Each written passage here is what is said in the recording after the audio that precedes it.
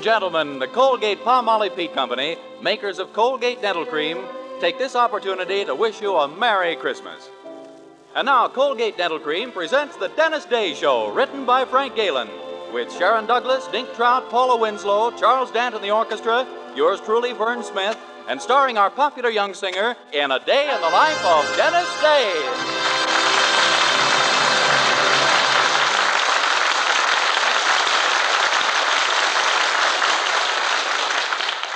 Here's Dennis to sing A Gal in Calico.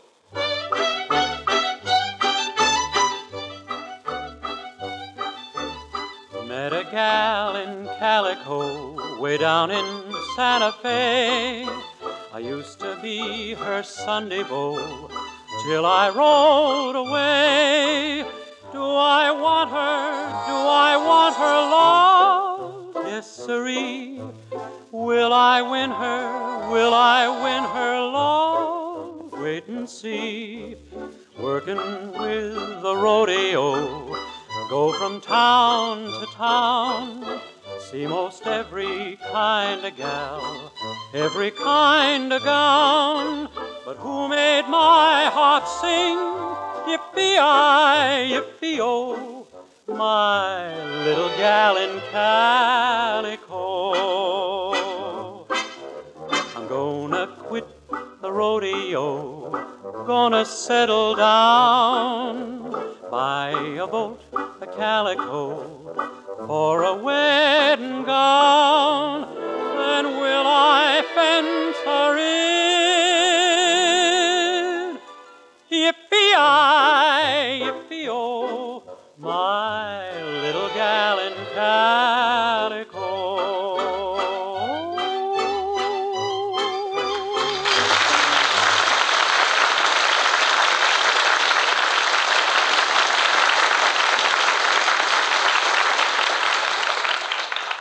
Most of you know our young hero Dennis very well by this time, but those of you who'll be making his acquaintance for the first time on these Wednesday nights would probably like to know just what sort of person he is. Well, let's ask the folks who know him best. First, there's his landlady, Mrs. Anderson, who runs the boarding house in Weaverville where Dennis rooms. Mrs. Anderson, what's your honest opinion of Dennis Day? My opinion of Dennis Day is that he's a 22 year old boy. Well, yes, of course, but uh, what sort of 22 year old boy? Well, I'm sorry, but that's as far as I'd care to go on Christmas. Well, i- it's a fact that Dennis has never managed to get into Mrs. Anderson's good graces. Now, Mr. Anderson, on the other hand, kind of likes him, although he's never come right out and admitted it. And just why haven't you, Mr. Anderson? Well, it all goes back to when I first married my dear wife. Or, as I like to call her, the big woman. Go on, Mr. Anderson. You see, when we were married, we made a pact, Poopsie and I. we decided we'd always think and act as one person. Of course, I didn't know then that the one person would turn out to be Poopsie. Oh, I see. Well, there's one member of the Anderson family who likes Dennis and makes no bones about it. That's their daughter, Mildred, our young hero's girlfriend. Right now, on this fine Christmas morning, she's carefully planted herself under the mistletoe in the Anderson living room as Dennis comes down for breakfast. Morning, Mildred. Merry Christmas. Merry Christmas, Dennis. Boy, I sure am hungry this morning. See you after breakfast, huh? Why, Dennis, wait. What's the matter? Well, don't you notice? I'm standing someplace. Well, that happens very often when you're not sitting down. I don't mean that silly. Now look around carefully. Don't you see anything different? You're wearing a new dress? No higher. You washed your face?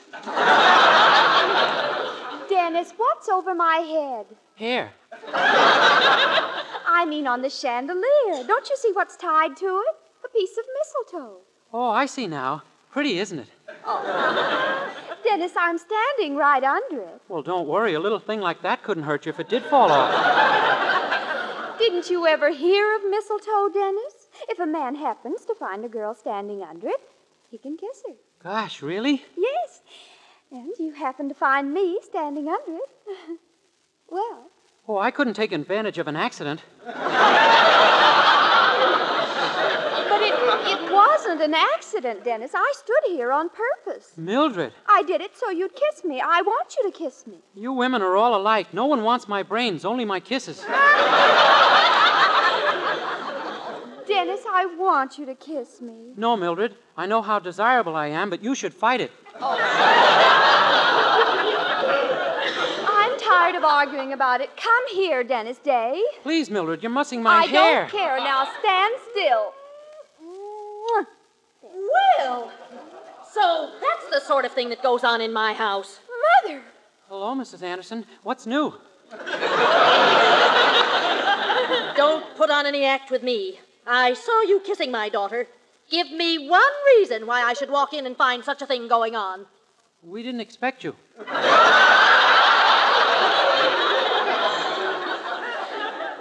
it was all my fault, Mother. Really, it was.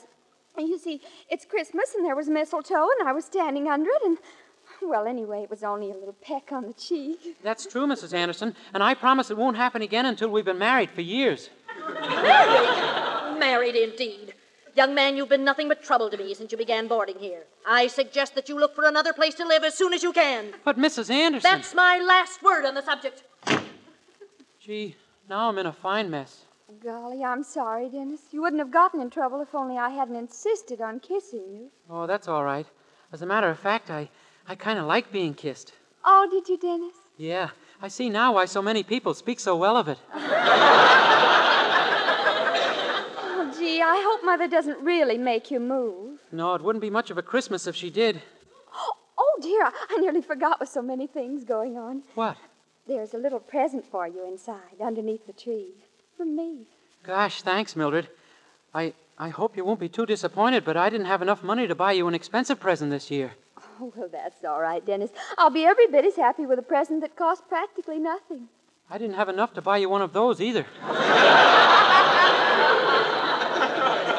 Oh, well, don't feel badly. I understand. Next year, I'll be able to give you something real nice to make up for it after my invention is put on the market.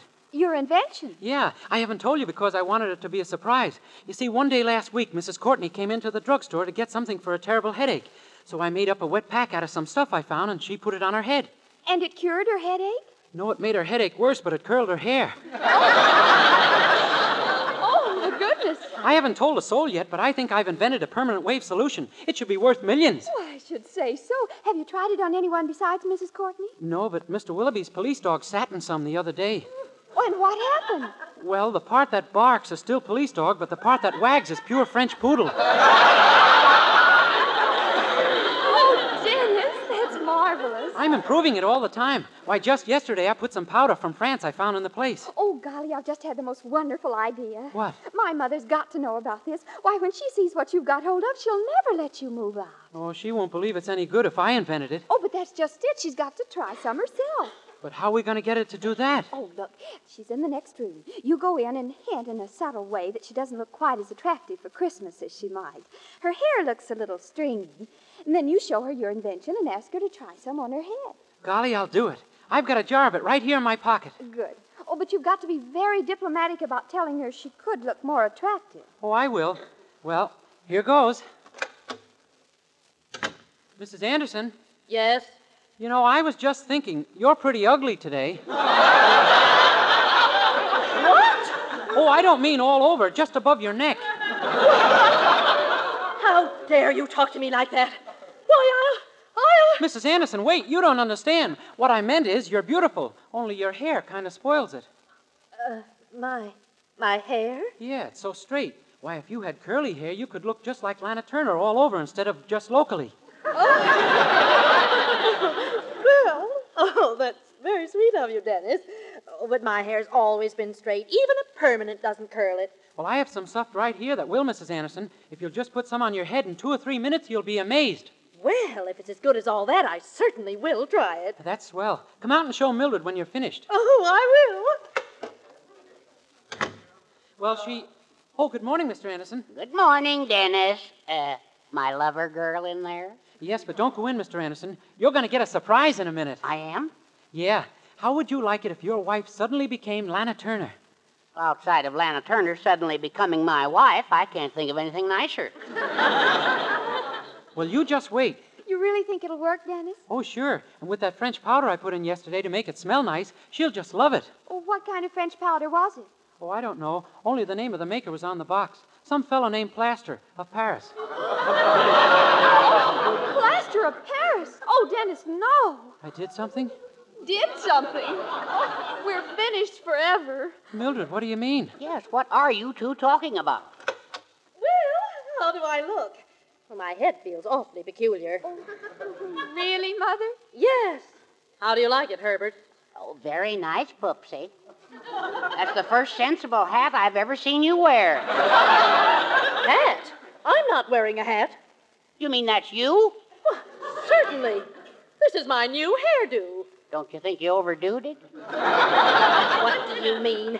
Get out of the way so I can see myself in the mirror. Why, I don't. Ah! Dennis Day! I must have made a slight mistake in the formula. My hair! It's ruined! Listen to it. Well, there's nothing to worry about, Mrs. Anderson. I'll have your head in fine shape as soon as I get hold of a hammer. Uh, a hammer? Yeah, that's the only way I can get that shiny white crust off your head. Fine thing. We're supposed to be Lana Turner and me, and now it's the egg and I. Here, use this, Dennis. The fire tongs. Okay. Hold still, Mrs. Anderson. There, see? Dennis Day, I told you once today to leave this house as soon as you can. Well, I can't wait. You're leaving this instant. Mrs. Anderson, I was only trying to help. Get out of my sight. That's final. Come, Herbert. Gee, didn't turn out to be a very Merry Christmas, did it, Mildred? No, I'm afraid not. Oh, but don't worry, Dennis. We'll find some way to see each other. Gee, I hope so. Oh, well, Dennis, listen. Yeah, a bunch of kids singing carols. It'd be kind of nice to have them in, wouldn't it? Yes, it would. Open the door, Dennis. Let's have them in. Okay. Hey, fellas, come on in. Mrs. Anderson may have something for you. Okay, come on, guys. You better shake the snow off your shoes. Mrs. Anderson is very particular about her rugs. Come on in, boys. Yes, ma'am. Thank you, ma'am. Thank you, ma'am. Hey, what about that little fellow out there in the snow? Isn't he coming in? Nah, he don't sing with us. He just follows us around. Yeah, everywhere we go, he tags along. We can't get rid of him. He's a pest. Hey, fella, why don't you come up here on the porch? You'll catch cold out there. Come on up. Don't be afraid. What's your name? Cecil? Oh, your name is Cecil, huh? Yes, sir. Cecil. Well, come on up, Cecil. Yes, sir. See, you are catching cold. I'm not cold. You're not crying, are you? Yes, sir. You are? But this is Christmas. You shouldn't be crying on Christmas.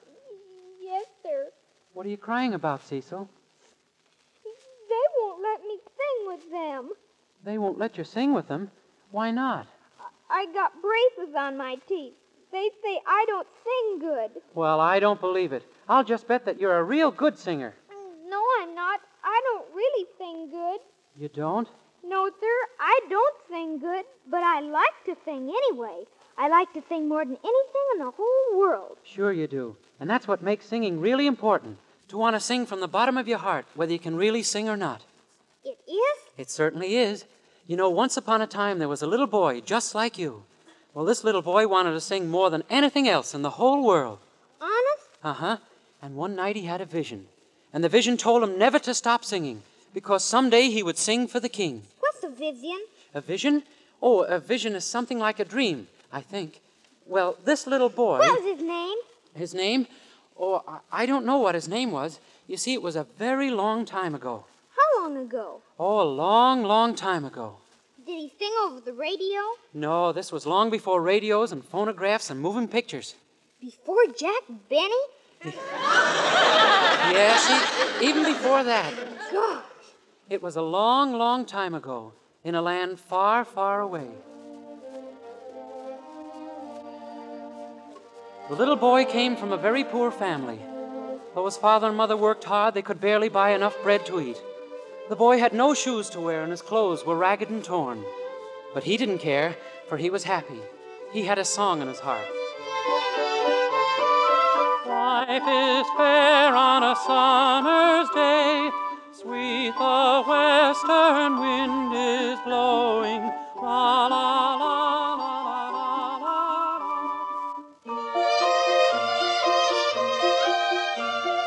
One day his father called the boy to his side and said, Why is it, my son, that you always sing? We are poor and have little for you to sing and be happy about. And the boy answered, I am happy, father, for some day I know I shall sing for the king.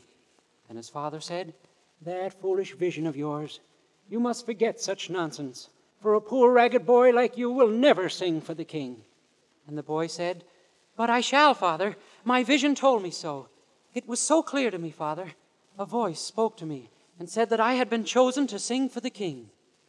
The boy's father was sorely troubled. He shook his head sadly and sighed. My son, you must put such idle dreams out of your head, for tomorrow you shall start to work for the rich landowner who lives on the hill. Gladly, father, and I shall sing as I work, for some day my song will be heard by the king.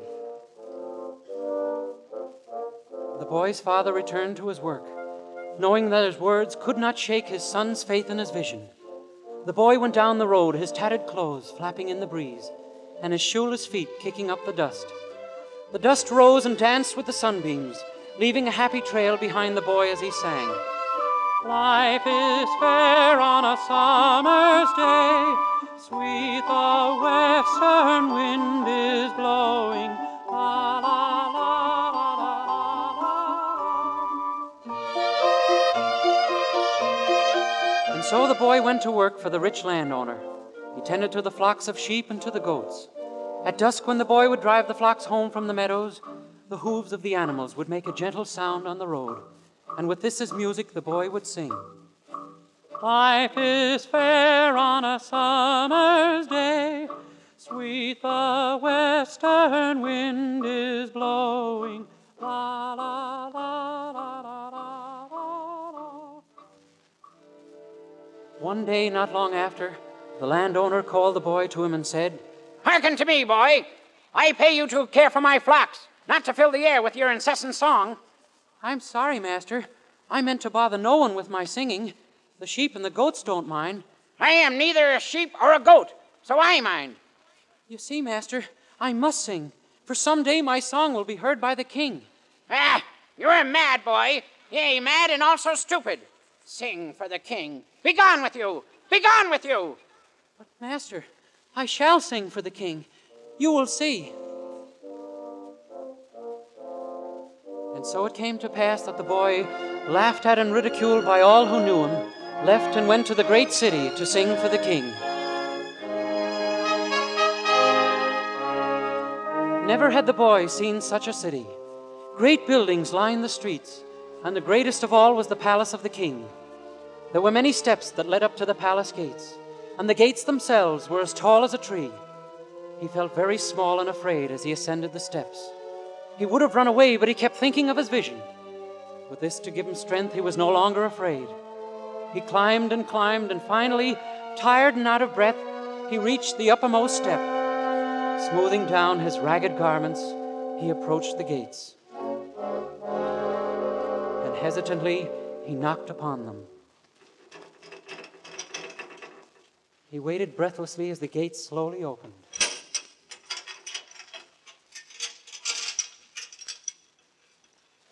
At the palace of the king?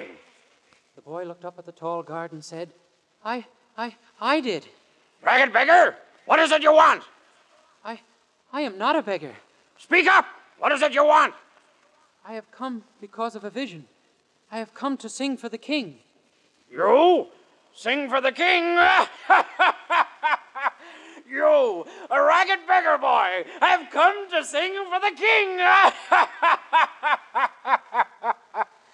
The guard laughed and laughed. Other guards came, and they too joined in the laughter. They laughed even more when the boy told them of his vision. Then, tiring of their laughter, they picked the boy up and cast him down the many steps to the street below and slammed the gates shut.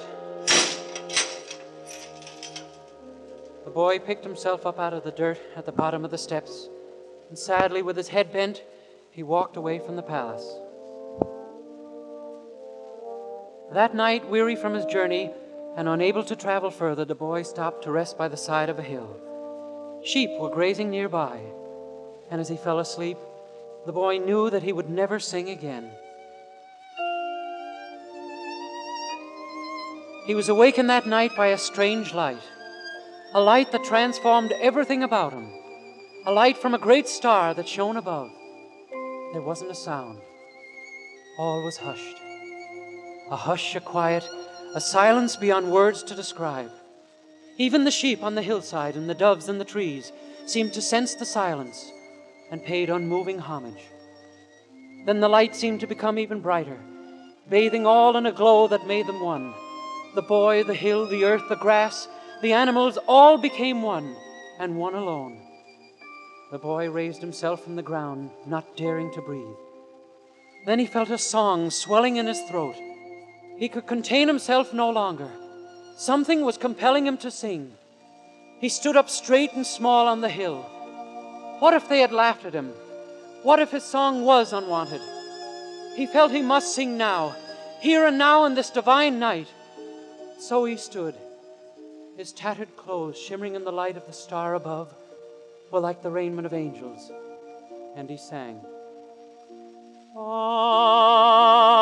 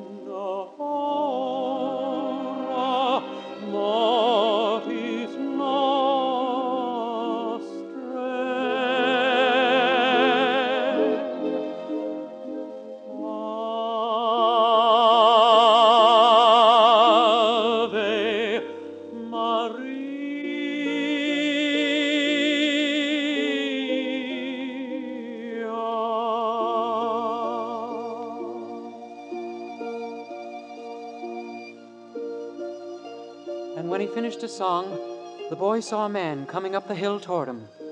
The man was a shepherd, and he carried a crooked staff. The boy said, I thought I was alone here on the hill. And the shepherd said, You will never be alone again, boy. No man will ever be alone again. And then the shepherd turned and pointed down the hill. And the boy looked and saw a small stable nestled below. And the shepherd, turning to the boy, said, Tonight, my son, you sang for a king. Verily, the King of Kings.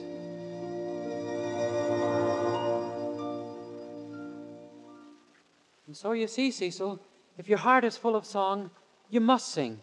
Oh, I didn't know you folks were listening. It was a lovely story, Dennis. It was beautiful, Dennis. Yes, it was. Yes, it was a very nice story. And I, I'm sorry I got so angry with you. I hope you forgive me, Dennis. Oh, sure. That's all right, Mrs. Anderson. Cecil, would you like to sing with us? Can I? Oh, gosh, I'd love to sing with you. I'd love to sing with you. Will you let me, honest? Will you let me sing with you? Sure. How about we all sing together? herald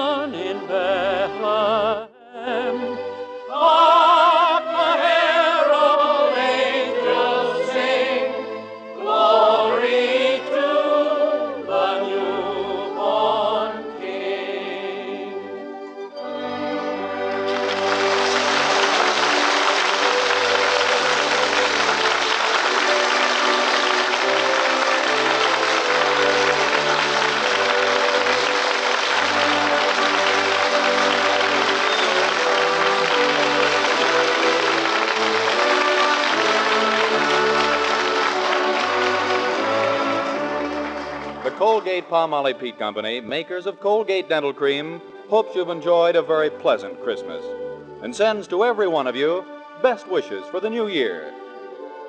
Dennis Day can be heard with Jack Benny every Sunday, and be sure and be with us again next week for another Dennis Day program. More songs, more adventures in the life of our star, Dennis Day.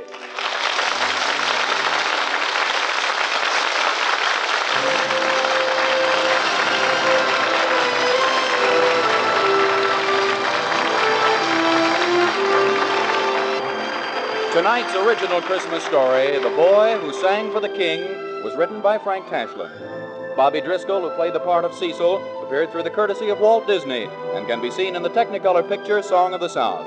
All the other parts in the Christmas story were played by Dennis, of course. The special musical background was by Charles Dant. This is Vern Smith speaking.